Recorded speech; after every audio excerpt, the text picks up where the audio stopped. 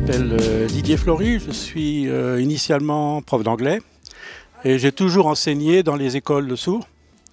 Euh, et euh, ensuite, j'ai travaillé au Théâtre des Sourds dans le château de Vincennes à IBT. J'ai donc quitté l'enseignement et j'ai écrit plusieurs pièces de théâtre, toujours pour des comédiens sourds, sourds et sourds ou entendants.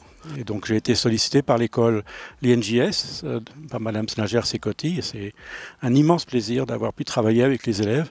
Alors, c'est une pièce que j'avais jouée effectivement euh, il y a 30 ans euh, à IVT, qui s'intitulait LMS, London Midland Scottish, et sur le principe effectivement de, des passagers entendants mais joués par des comédiens sourds, et un témoin sourd, euh, un personnage sourd, un seul personnage sourd sur les neuf comédiens sur scène, il y avait beaucoup moins qu'ici, et qui est interrogé six mois plus tard à Scotland Yard.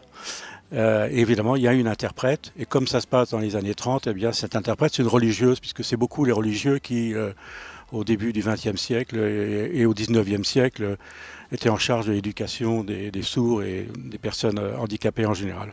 Le, pari, c'était de faire un spectacle qui s'inspirait du cinéma muet. Le but de l'atelier, euh, ce n'était pas de faire un atelier thérapeutique. Donc je voulais vraiment que ce soit pour eux un moment de plaisir. Donc, ne pas les mettre en difficulté ni sur la qualité de leur voix, ni sur euh, leur mémoire.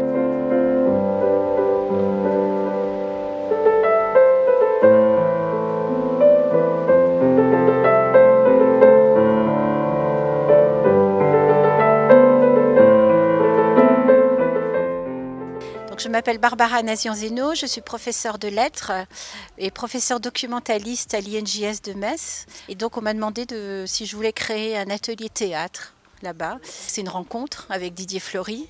Euh, c'est quelqu'un qui m'a énormément appris, qui a connu quand même euh, la période de l'IVT. C'est quand même le professeur d'Emmanuel Laborie quand elle avait 7 ans. Euh, déjà ça. Et puis parce qu'elle parlait, c'était du théâtre visuel il y a un militantisme quand même, un engagement hein, dans la communauté sourde par rapport euh, au théâtre visuel. Donc j'ai appris en même temps et donner la chance aux enfants sourds bah, de dire comme Emmanuel Laborie qu'ils ne manquent de rien. Euh, pendant un siècle, il y a eu une interdiction en France hein, de signer euh, depuis 1880 jusqu'en 2005 à l'école, on ne pouvait pas, on attachait, enfin il y a eu plein de choses, on attachait les mains des enfants, etc. Enfin bref.